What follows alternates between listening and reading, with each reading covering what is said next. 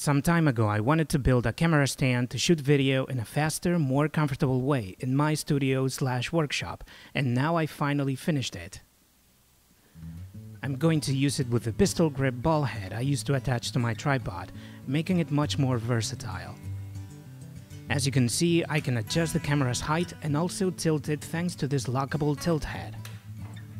I wanted it to be compact, both in height and in how much space it takes up on the floor, so that it wouldn't get in the way too much and to speed up the recording process.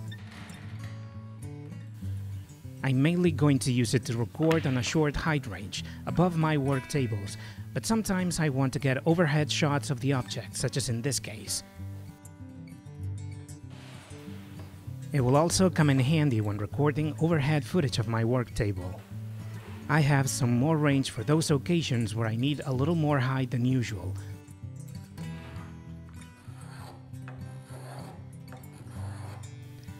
I've placed a 5 kg weight plate on the bottom of the stand to act as a counterweight, more than enough for this setup.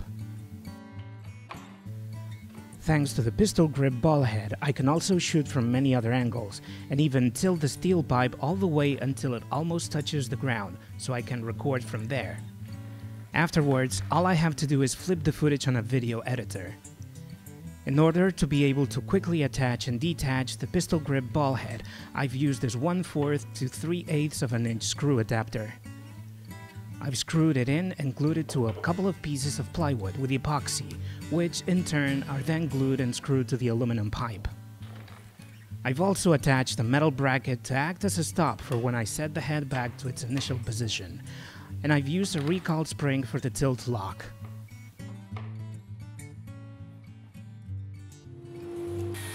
Now I'll show you how I built it. With a table saw, I cut the two pieces that make up the bottom of the stand.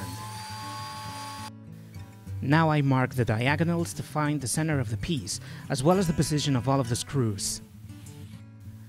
I drill holes for the screws using a countersink bit. I also drill the center of the piece. This hole will allow me to rotate the piece on an axis in the bandsaw and cut the two round bottom pieces. I work out the radius of the circle by measuring it from the saw blade to the rotation axis and cut the pieces little by little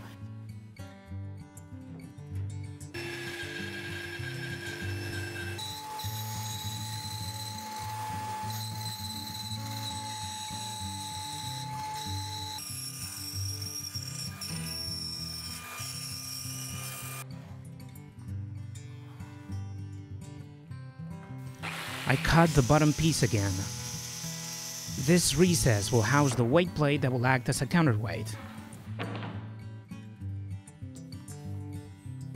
Now I can glue the two bottom pieces together.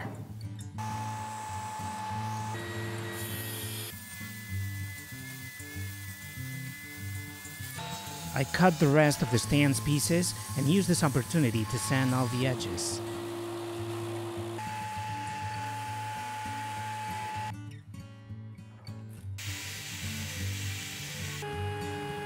With the router, I make grooves to lift the support when needed.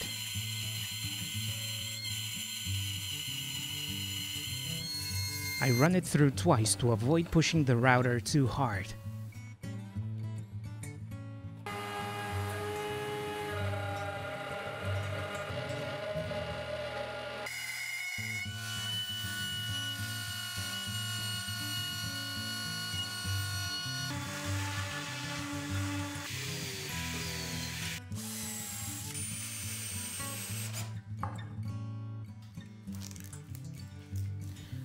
Now we're ready to put the stand together. First, I attach these pieces that will act as a guide for the lifting system. Once they're in place, I make sure it runs smoothly, and then I mark and drill the position of the locking screw.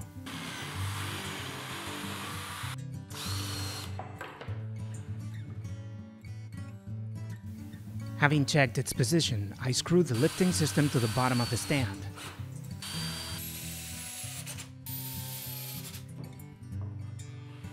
I'll use a mushroom head square neck screw so that it won't turn when tightening the knobs.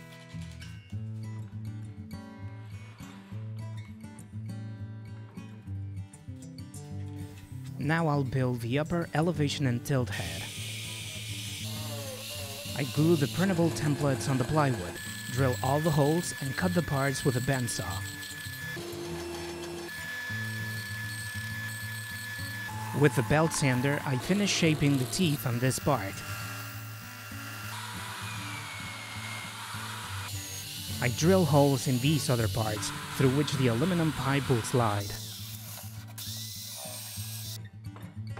I ensure the movement is smooth and put all the tilt head parts together with screws.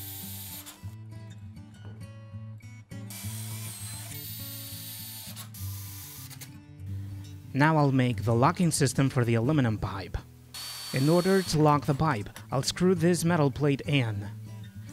By tightening the screw knob, the plate will bend until the pipe is locked. I've put the part in its place and attached the tilt head to the support using two screws that serve as axes. Now it's time to make the lever that will lock the camera and the aluminum pipe at an angle. I cut it with a bandsaw and make adjustments with a belt sander.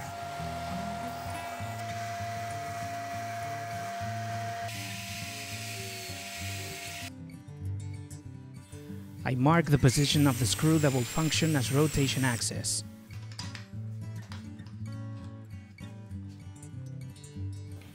I'll also use a self-locking nut here. After placing the recall spring, I screw in another two parts to serve as handle so that using the lock lever is more comfortable. Finally, I'll place the counterweight plate.